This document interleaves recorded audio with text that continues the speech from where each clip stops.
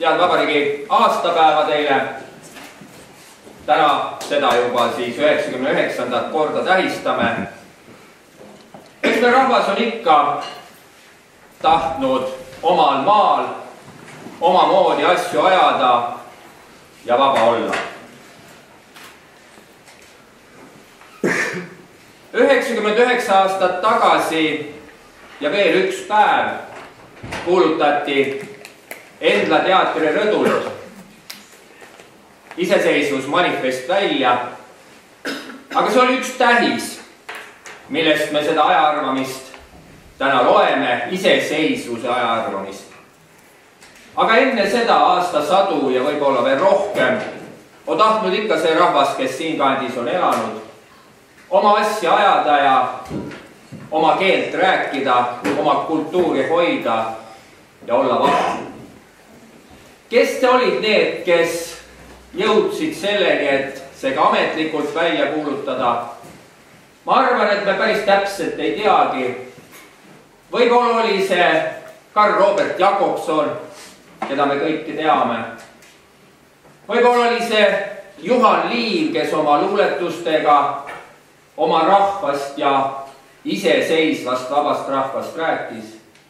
võib-olla oli siin Jakob Hurt, kes tahtis, et meil oleks oma kodu, mis täna on ka reaalsuseks saanud see Eesti rahva kodu on meil reaalsuseks saanud ju siinsamas Tartu vallas Raadil Eesti Rahva Muuseumi meie oma kodu näol. meil on olla õnn rahvas, kellel on pikk kultuuritraditsioon meil on olla õnn rahvas, kellel on oma keel, oma kultuur. seda me oleme ikka hoidnud ja võib-olla iga päev on seda hoidmist vaja rohkem teha. sest me tajume, mis ümber maailmas toimub. iga päev on kuskil midagi, mida me ei tahaks. toimub sõda, toimuvad terrorirünnakud on mingid Brexitid, on erinevaid asju.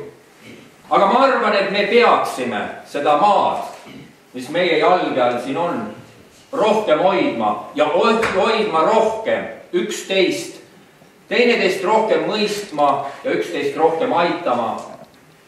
võib-olla tänu sellele me suudaks siinsamas maal, Eestimaal oma kultuuri ja keelt kauem säilitada kui kaua see säilib, seda ma arvan, et me ei oska keegi ette ennustada, aga kui me iga päev teeme midagi head, me teeme head siinsamas Vasulas, hoiame seda Vasula piirkonda, hoiame kodud kaunid, hoiame oma peret, hoiame oma lapsi.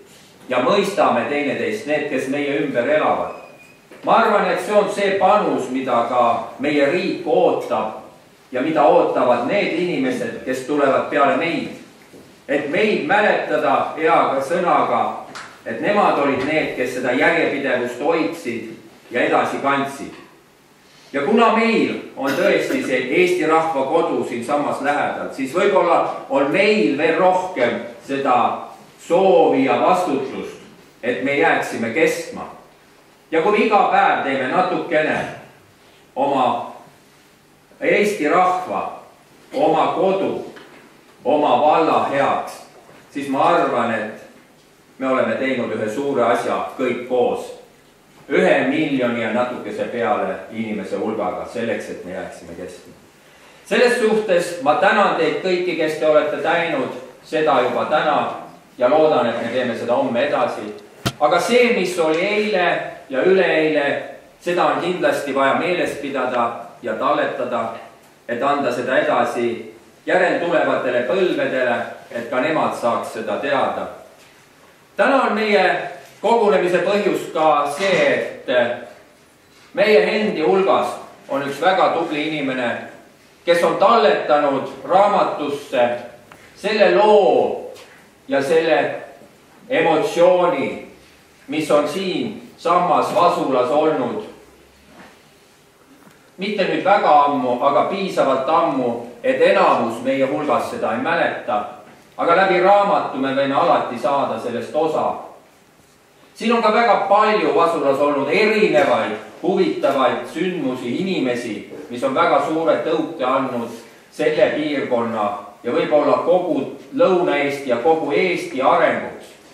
aga nendest me võib-olla täna ei räägi. me täna räägime Vasula kodumajanduskoolist ja Mare Mustast, kes on selle raamatusse talletanud ka järeltulevatesse põlvedele. ja ma tahaks üle anda tänukirja Mare Mustale, kes on Vasula kodumajanduskooli mälestuste talletamise pannud raamatusse, nii et Mare, ole hea, tule siia ja teeme Marele suure